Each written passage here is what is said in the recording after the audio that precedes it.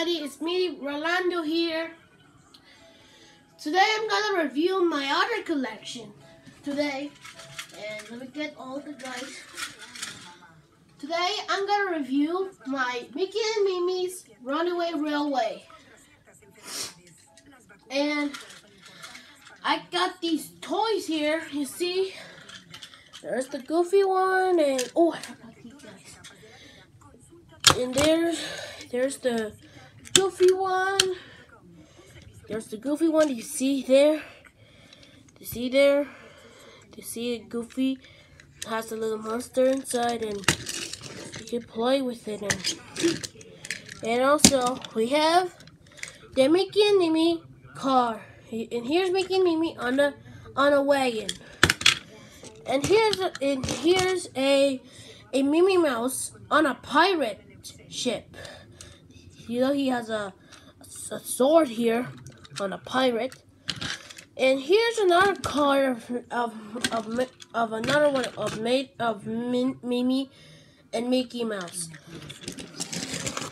And that's my review on also also look.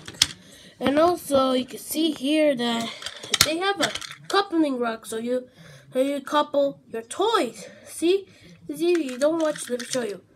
Look, first you couple these guys. See? Look, it's easy. Now just play around and, and have fun. And have fun. Look. We have fun.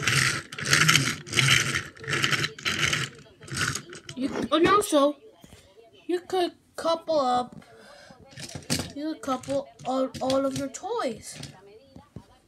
Couple all of your toys. Here in. Like that.